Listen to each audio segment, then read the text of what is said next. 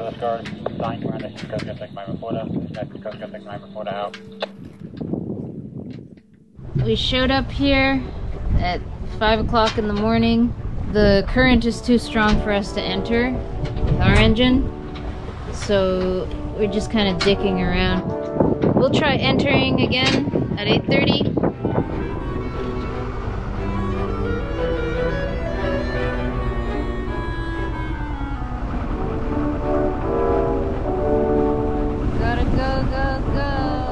We waited for the scheduled hourly bridge opening by making perfect pirouettes in the waterway.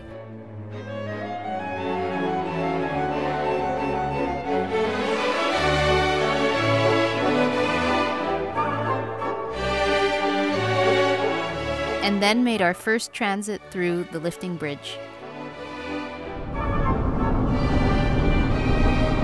Caution, multiple spans are now lowered.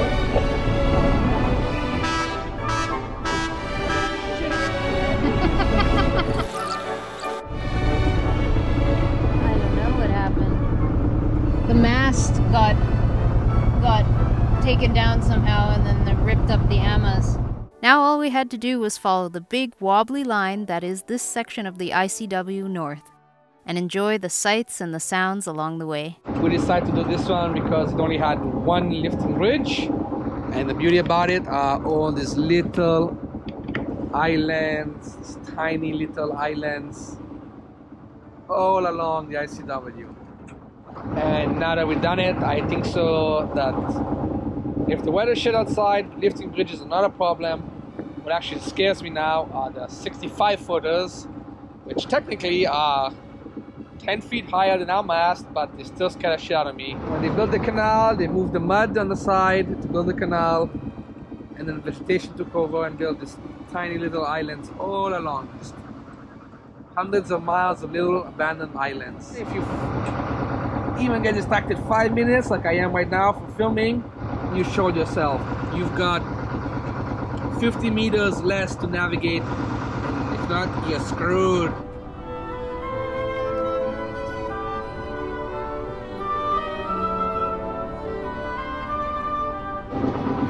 Do we have a timer on for the water? No. We kept an eye open for what might be a good island to anchor alongside before nightfall. However, it was a little tricky to find a spot where we would be well outside the waterway. And we anchored right on time to make sure that we weren't sitting out in the rain. Good job, Robbie. Well, we want to walk the doggy, but it'll have to wait.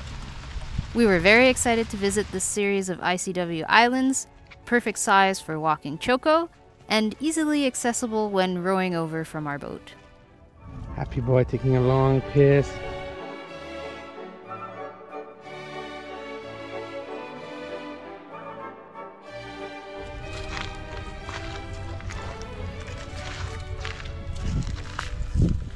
How does he walk, huh, Choco? How does he walk? Ready to go back to the boat?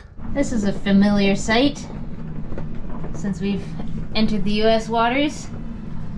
Sitting and waiting for a northerly wind pass us by. We could motor into it, probably make about two knots with our engine, but we don't want to.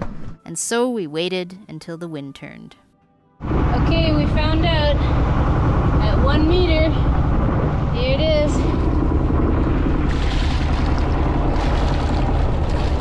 We're grounded. You're grounded, Robbie. Hmm? Yeah, we left too late, I guess. We should have left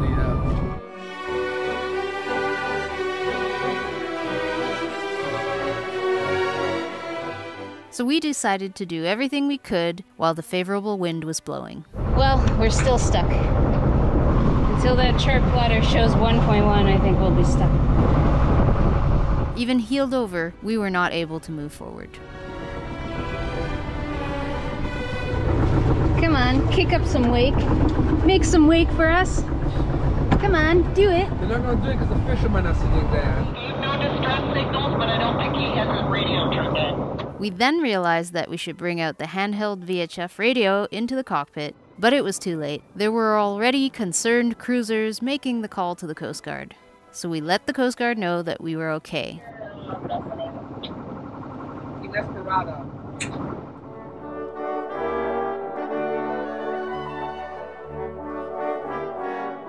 It's common here for cruisers to use sea tow and towboat services, but we knew that it would only be a matter of time before we would be off. We keep on getting a gust and thinking that maybe that will push us off, but I think we might have to catch her out. Or at least try to catch. We rode the anchor and chain as far out as possible, dropped the anchor in deeper water. Poor Choco had no idea what was going on.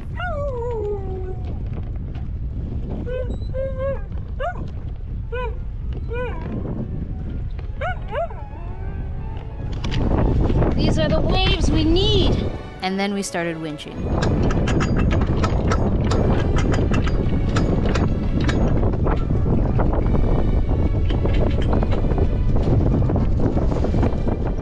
We hoisted the sails and started the engine.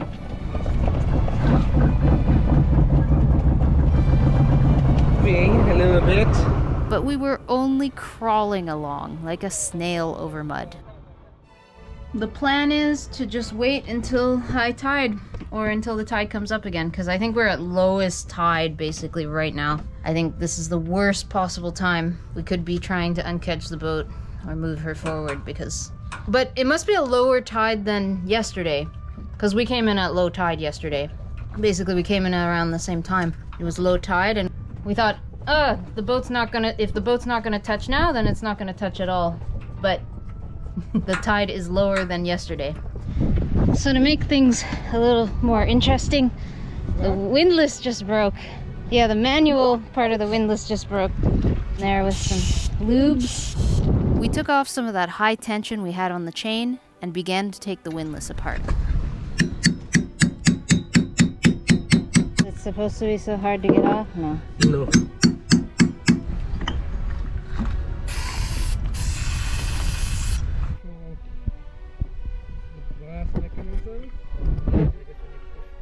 We could see what the problem was right away. Two tiny springs that engaged the clutch to the manual wheel. One spring was broken, and we had generally worn out the manual components. You're trying to see if maybe it'll function with the one spring. Yeah, but I doubt that. Well, this love one is not meant to to operate manually the way we did. If we hook it up electrically, it might work. We could bring a battery forward. We, we see that it, it will click now. We could technically use it, but it's like super delicate. Yeah. I wouldn't put the pressure that we're trying to put on it, trying to catch the boat up on it. The wingnut was also suffering from our constant abuse. Should we have to do with two now? Because uh, you, you should be even, even be able to get two clicks. Now we had to work together to get the rest of the chain up and to inch our way forward as the tide was rising. Eventually, our boat Inez did get over the small hump of mud. Okay. Pointing into the wind. The problem is our windlass doesn't work anymore. I'm not feeling confident yet. We have like less than 10 feet of clearance. You standing on my shoulders. Next scare for the day going under our first 65 foot bridge. We have triple and quadruple measured the height of our mast from the waterline, unlike the measurements of our draft, which we were uncertain about and caused us to go aground this morning.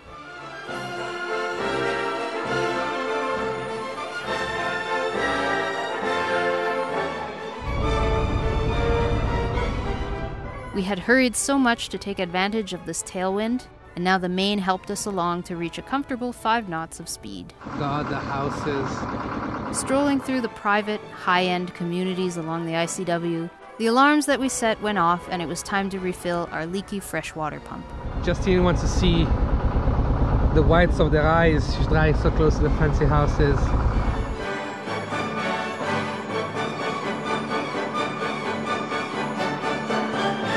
It just doesn't like It doesn't get water, better. it's Still like it doesn't get old, huh?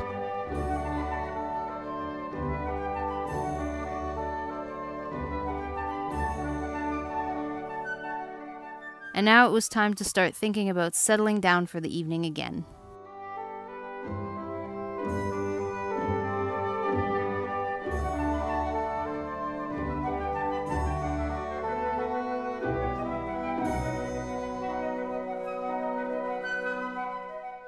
We were joined by dolphins.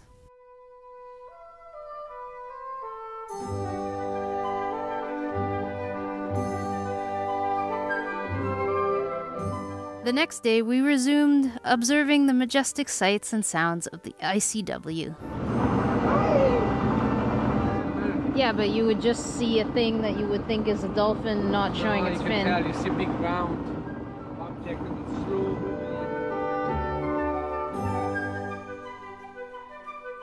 I was excited to spot a manatee as dolphins popped in and out of our wake. Who is that, Choco? They knew your name. The final leg of our journey, for now, had us anchoring near Satellite Beach, where we planned to meet up with several Floridian friends.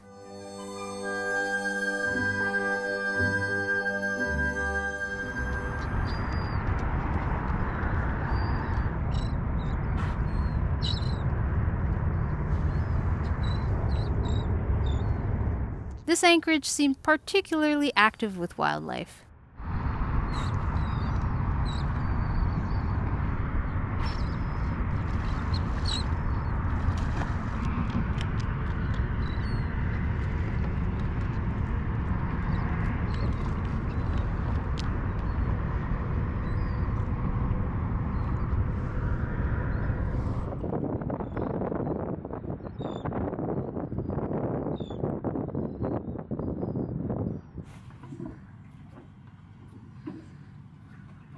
Catfish. Oof, there's a lot of them.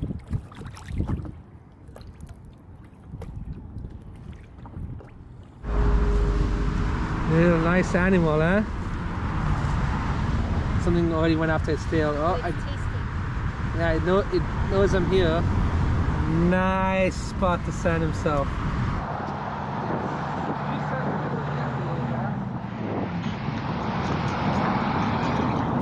That Focal crossing. This intersection is very pushy. Or I've noticed these intersections are quite pushy.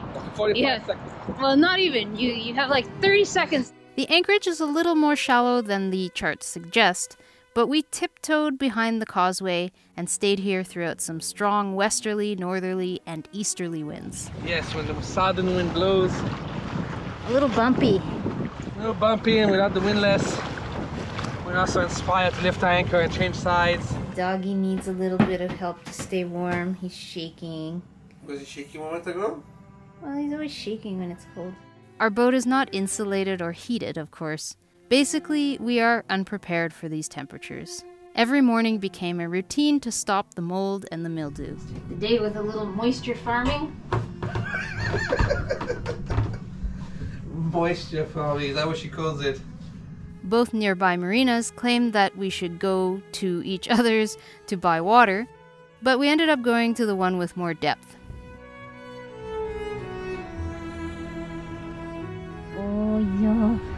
Oh. oh. Scared the shit out of me.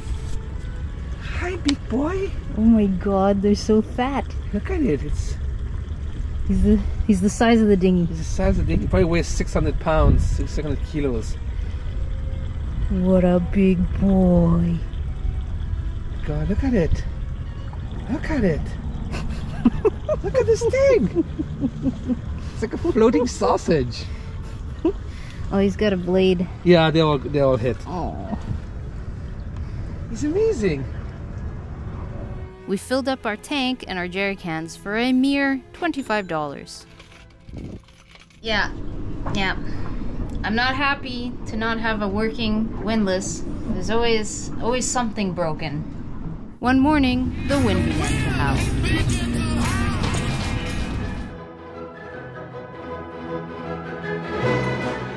It started out at 20, 30, 40, and then built up into the 50s.